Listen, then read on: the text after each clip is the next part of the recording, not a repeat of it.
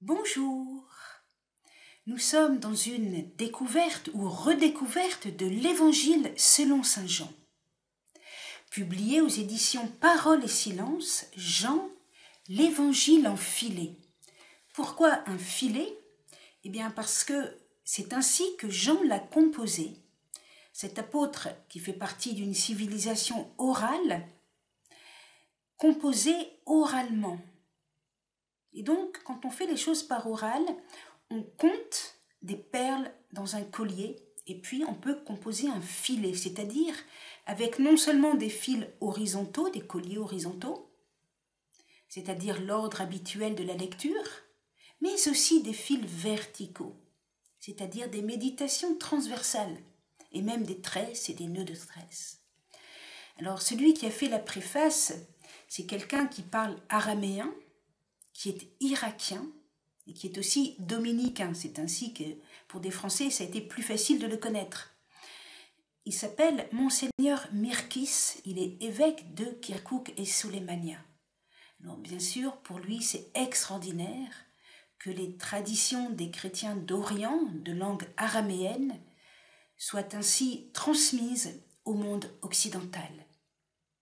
Nous en sommes arrivés à la méditation du fil vertical, donc une méditation qui n'est pas habituelle, que j'appelle le fil C, c'est-à-dire le troisième fil vertical.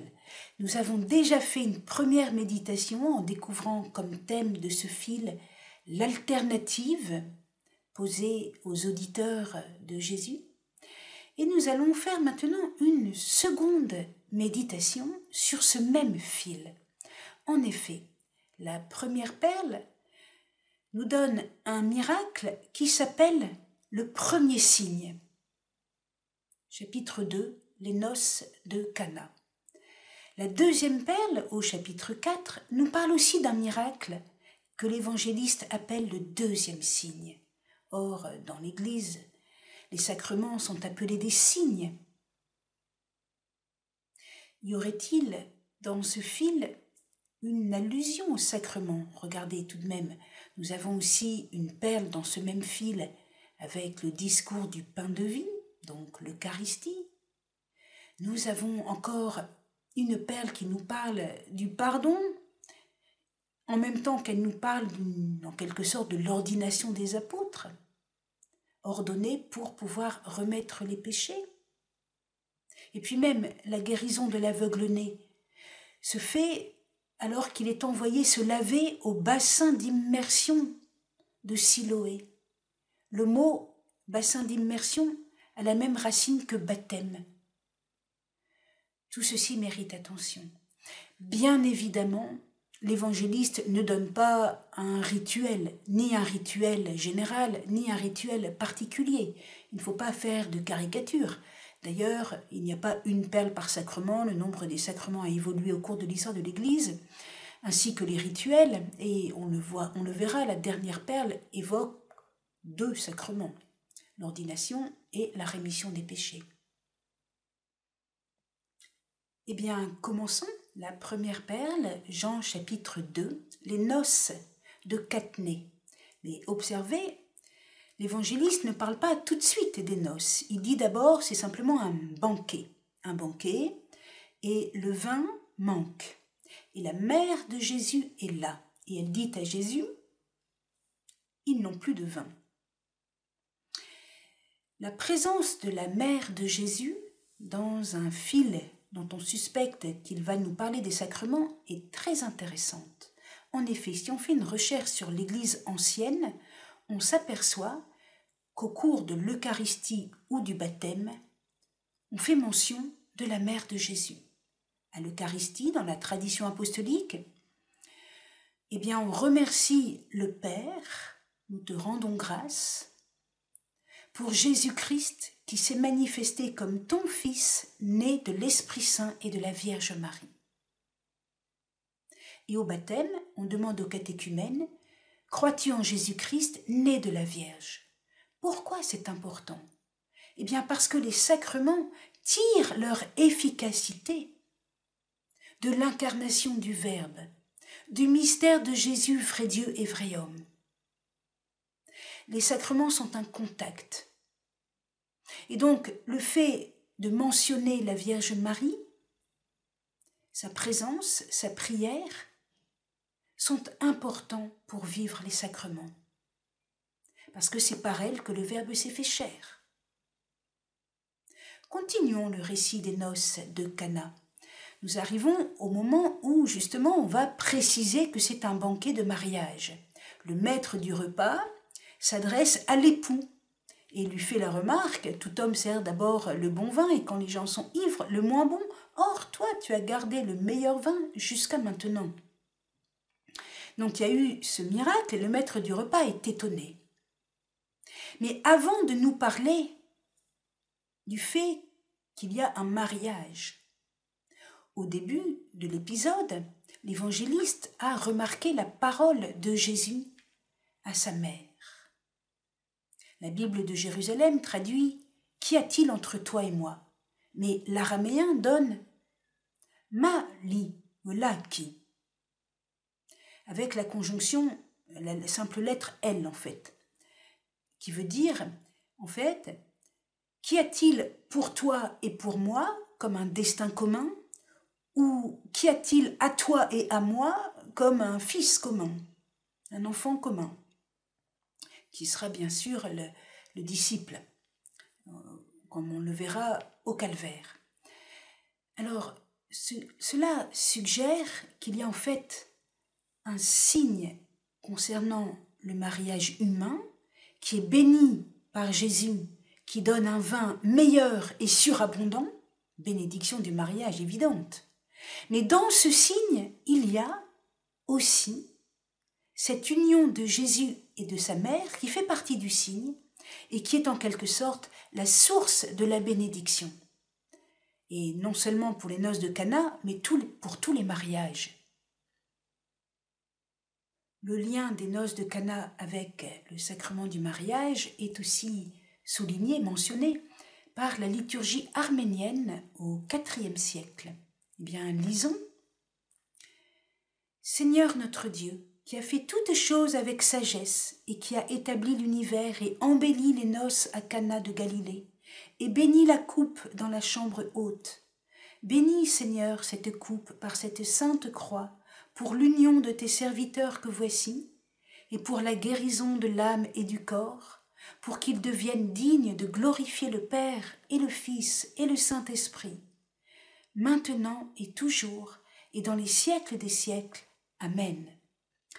Avant de clore, observons que dans ce même fil vertical, à la perle 6, il est question de l'esprit de fermeté-vérité, en araméen char.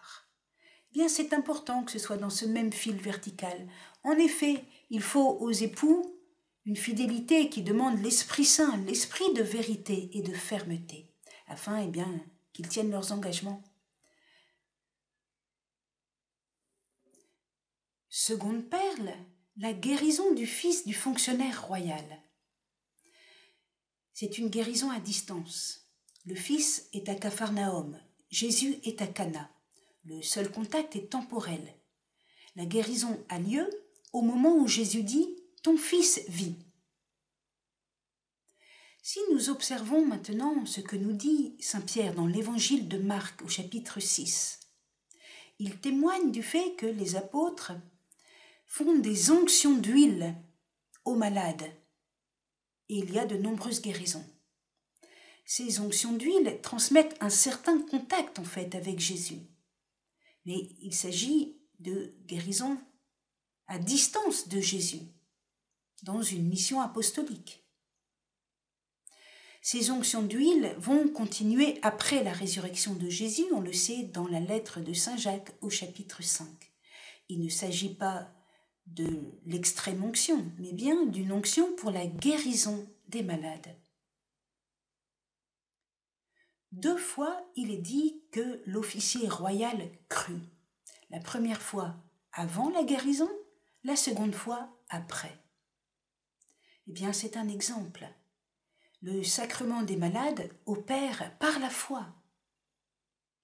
La guérison du fils de l'officier royal est appelée le second signe, ce qui nous invite à le mettre en rapport avec le premier signe, qui était la bénédiction divine sur le mariage. Ce qui suggère que la guérison physique n'est pas sans rapport avec la guérison du couple humain qui porte des histoires familiales. Et même encore plus, le miracle des noces de Cana avait lieu dans six vasques de pierre qui rappellent les six jours de la création. La guérison a rapport avec la restauration de notre relation à Dieu le Créateur. Il faut aussi remarquer que dans cette guérison, la fièvre est personnifiée. Jean 4, verset 52, la fièvre l'a quitté. C'est donc un esprit mauvais, un ange déchu. Cette observation nous invite à offrir le sacrement des malades à ceux qui vivent une grande conversion. En effet, ils sont poursuivis par l'adversaire, le monde démoniaque dont ils quittent l'emprise et leur corps peut être affecté.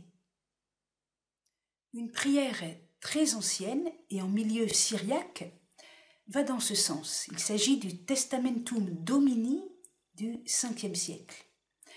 Cette prière associe la prière pour les malades et pour ceux qui se convertissent.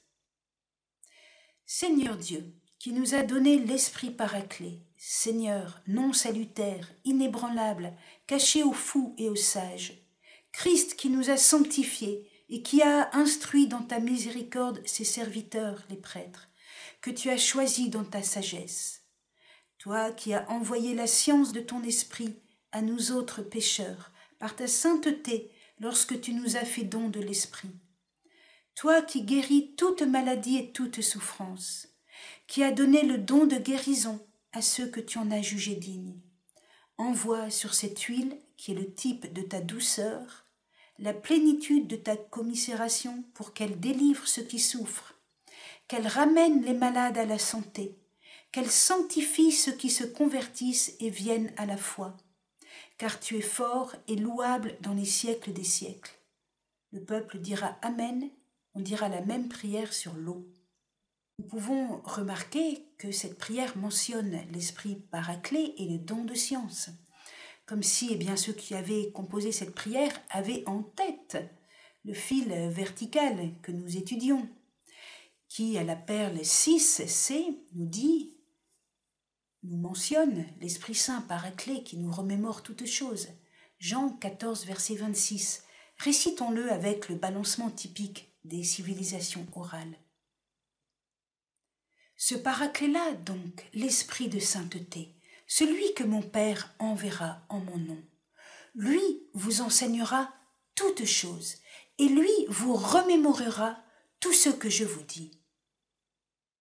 Venons-en à la troisième peine. Nous sommes à Capharnaüm et les gens sont prêts à faire des œuvres, à travailler pour le pain du ciel. D'ailleurs, sur la montagne, Jésus n'avait pas donné le pain ex nihilo il avait multiplié le pain qui lui avait été apporté. De même à Cana pour le vin. Il a transformé l'eau que les serviteurs avaient puisée et dont ils avaient rempli les six vasques. Mais la disproportion est évidente, ce qui signifie qu'on ne peut pas gagner le pain du ciel. C'est un don de Dieu, c'est une œuvre de Dieu. Jésus dit, Amen, Amen, je vous le dis. Si vous ne mangez le corps du Fils de l'homme, il n'y a point quant à vous la vie dans votre personne.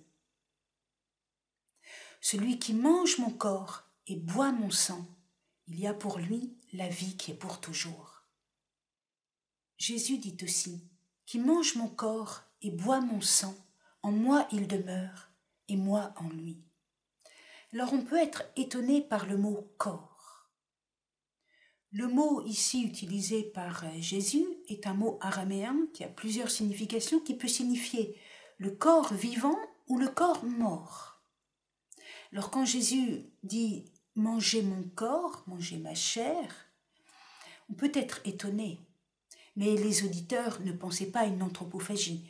Déjà, dans la première perle, il y a l'eau changée en vin, mais surtout ici, il s'agit du corps du Fils de l'homme. Or, les auditeurs savent bien que le Fils de l'homme vient sur les nuées du ciel. Le disciple découvre progressivement que Jésus est l'envoyé du Père. Il a en quelque sorte un corps dans la pensée du Père depuis toute éternité, puis un corps incarné avec lequel il va souffrir sa passion, puis un corps ressuscité qui n'est plus soumis au monde et qui va lui permettre de se rendre présent partout où l'Eucharistie est célébrée. En araméen, la racine qui donne korban, kurbana, signifie à la fois s'approcher, toucher en lien avec le sacrifice. Et ce mot, kurbana, désigne la seconde partie de l'Eucharistie. C'est très intéressant. En un seul mot, nous avons toute cette signification de rencontre, de contact, de présence réelle et de sacrifice. Alors, c'est valable pour l'Eucharistie, mais c'est aussi valable pour tous les sacrements qui sont un contact en lien avec le mystère pascal. Le disciple devient temple de Jésus, inséparable du Père. De même que celui qui m'a envoyé, le Père, est vivant. Moi-même, je suis vivant grâce au Père. Et celui qui me mange, lui aussi vit grâce à moi.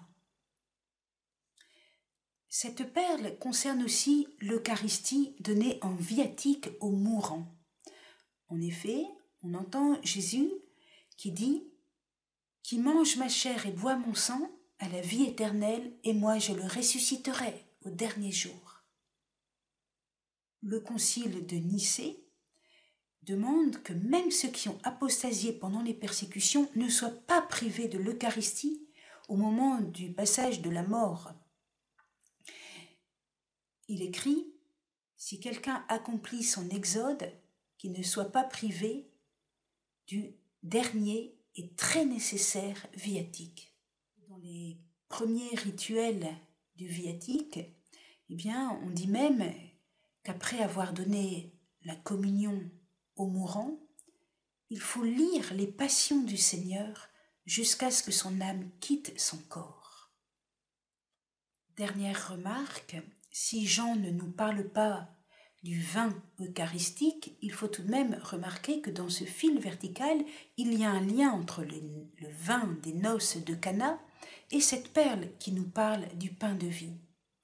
De plus, le témoignage de Jean sur l'Eucharistie a d'abord été composé en alternance avec Pierre, qui, lui, donne le rituel eucharistique avec le pain et le vin, que Saint Jean n'a pas besoin de répéter. Perle 4c, la rencontre personnelle de Jésus avec l'aveugle, le fait qu'il l'envoie se laver dans l'eau du bassin d'immersion, la même racine que le mot baptême, de Siloé, qui veut dire l'envoyer, tout ceci évoque le baptême. Et l'insistance sur le fait que ce soit un aveugle de naissance fait de cet aveugle la figure de l'humanité marquée par le péché originel. Cette lecture sacramentelle est confirmée par la tradition de l'Église ancienne d'appeler le baptême l'illumination. Dans le rite chrétien, comme dans le rite de Jean-Baptiste, on ne se lave pas soi-même. Et la formulation très précise du récit nous montre que même si l'aveugle va se laver, c'est en réalité le Christ qui le lave. En effet, il va se laver dans le bassin de Siloé, dans le bassin de l'envoyé. C'est l'envoyé qui le lave. Enfin, ce récit est exemplaire sur l'attitude du disciple qui grandit dans la foi et qui témoigne avec courage. Cet aveugle guéri a fait le parcours d'un bon catéchumène. Il commence par dire Je dis, moi, que c'est un prophète. Et ensuite il dit, si celui-là n'était pas de Dieu, il ne pourrait pas faire cela. Et puis, à la fin, il se prosterne devant Jésus, le Fils de l'homme. Cinquième perle, alors que la mort de Jésus est décidée par Caïphe, Jésus accueille et bénit le geste de Marie de Béthanie qui oint ses pieds d'un parfum précieux. Il n'est pas exclu que Jésus veuille que les mourants soient eux aussi oints, reçoivent une onction, l'extrême onction. Mais dans l'Église primitive, les onctions d'huile étaient réservées pour la guérison des malades et pour les mourants, on donnait l'Eucharistie en viatique. Alors le sens de cette perle dans ce fil vertical qui a une connotation sacramentelle serait plutôt général. Le parfum qu'offre Marie de Béthanie remplit la maison. Elle n'a pas calculé. Le don qu'elle fait à Dieu est généreux, il convient qu'il soit incommensurable. Judas ne comprend pas. Il veut calculer combien coûte ce parfum et il aurait fallu le donner aux pauvres.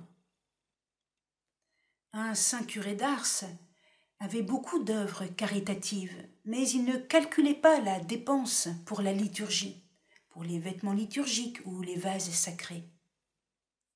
Nous voici à la sixième perle, Jean chapitre 14. Alors au verset 16 et 17, il est question du don de l'Esprit Saint paraclet.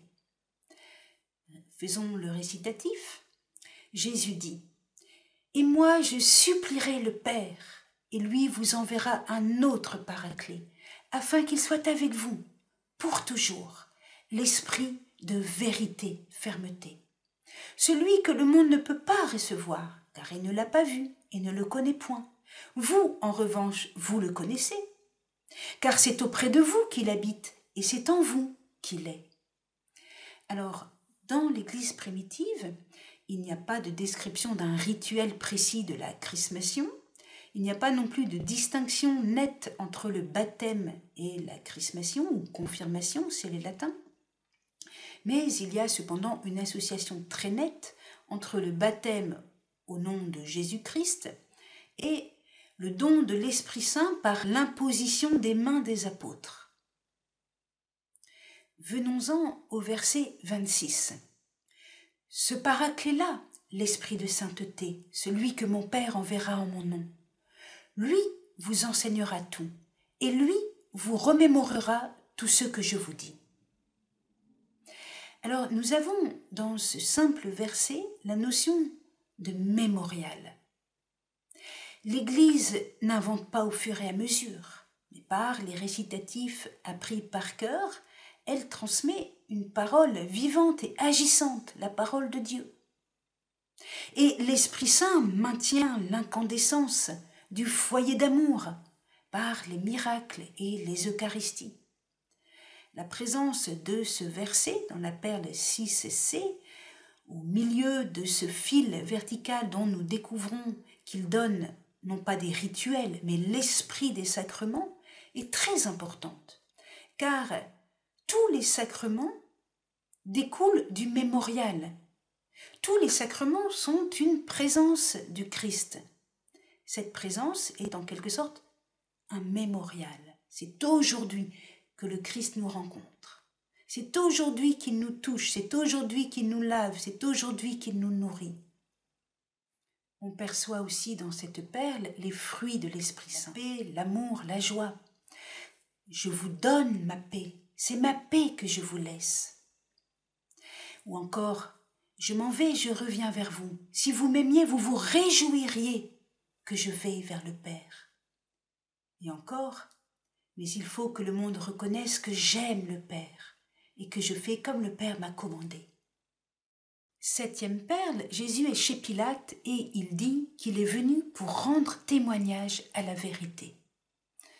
Alors on pourrait voir dans cette perle un lien avec le baptême de sang, puisque Jésus va mourir pour la vérité, un peu comme ceux qui meurent pour leur foi avant même d'être baptisés, ou bien ceux simplement qui cherchent la vérité et qui sont donc prêts à recevoir le salut dans le passage de la mort s'ils n'ont pas encore été baptisés.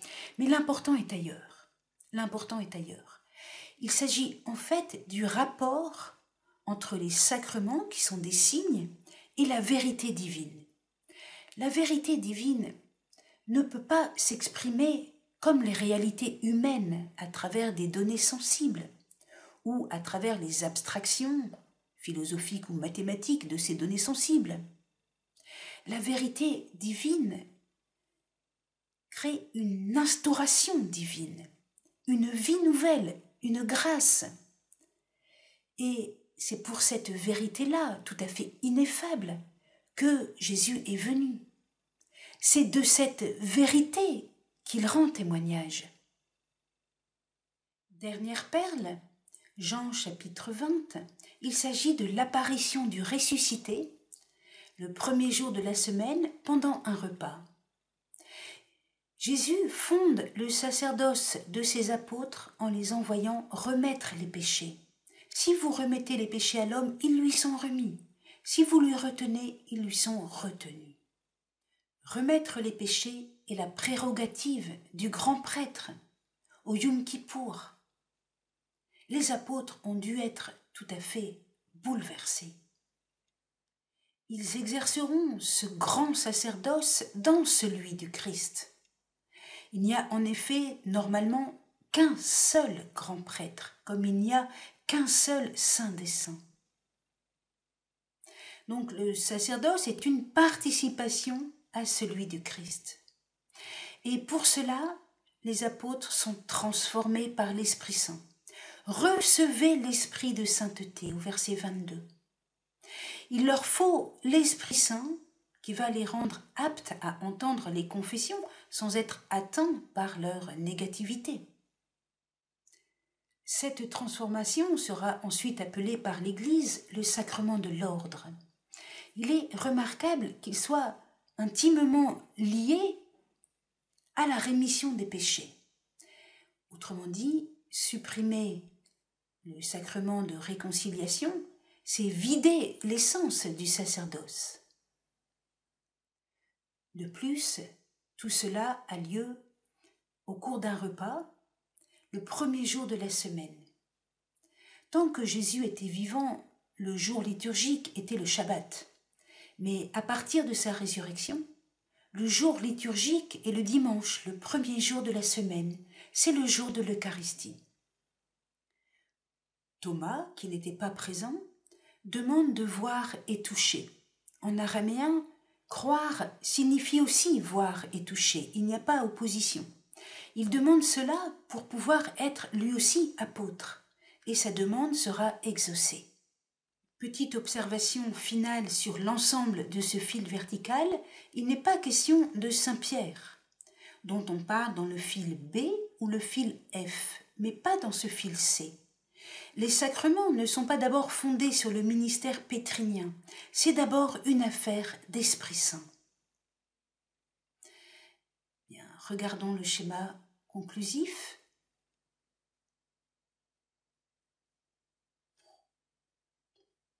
Merci, au revoir, à bientôt.